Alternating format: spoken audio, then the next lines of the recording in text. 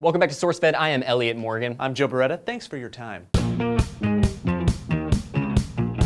So every year, a magazine called Maxim releases their Hot 100 list, which is exactly what it sounds like. It's a list of 100 hot women. What's cool about this list is you get to vote on it at Maxim.com. So yeah, I would say this is a pretty great nation. In case you've forgotten what hot looks like, here are the number one picks starting in the year 2000 until now. First up is Estella Warren. Hey, cool. I have no idea who that is. Yeah, she's best known for being voted number one in 2000's Maxim Top 100 list. In 2001, it was Jessica Alba, who was the youngest person at 20 to reach the top spot. I like her face more than I like her personality. 2002 was Jennifer Gardner. Oh yeah, she seems nice, whatever. 2003 was Christina Aguilera, so it's nice they're including men on this list. Hey, she's beautiful no matter what you say. I see what you did there. In 2004, Christina Aguilera was dethroned by Jessica Simpson. Blah, blah, blah, blah, dumb blonde joke. 2005 and 2006 were both Eva Longoria, who coincidentally was the oldest person to reach the top spot at 31. And the only back-to-back winner, ever. Yeah.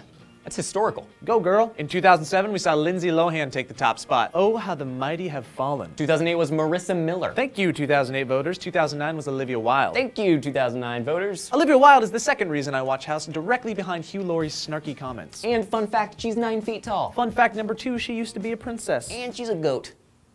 That's not a fact. 2010 was Katy Perry. Uh, when she first came out, I was like, uh, I don't really get it, but now I'm like, I get it. Yeah, she's actually hot, despite looking like a little person in a big person's body. And in 2011, the girl to take the top spot was the one that replaced Megan Fox in Transformers 3. Last but not least, our prediction for the top spot in 2012 will be Lee Newton. That's right, and we're completely serious about this. We just need your help. Lee literally has no idea about this, but with your help and us, we can get her to the number one spot. Our decision to try and get Lee on this list is a direct result of the comments and feedback we've gotten from you guys and all the videos that we've done on SourceFed already specifically in two videos. The first being when we covered AskMen.com's 99 Most Desirable Women of 2012 and UGO.com's Most Desirable Fictional Women of 2012. The overwhelming response we got from those videos is that you guys thought the women were hot, but you thought Lee should be on the list. Well, here's your chance to get Lee on a hot woman list. And the fact that you actually get to vote for Lee means you could uh, potentially be making the news. Yeah, I mean, we're not telling you to vote for Lee. Vote for anybody you want, but vote most for Lee. Click the link down in the description below, go to the Maxim website, and you can vote as many times as you want. While you're voting as many times as you want, vote for Lee. Before you do that, leave a comment down below. Tell us why Lee deserves to be in the top 100, mm-hmm. and then go make flyers.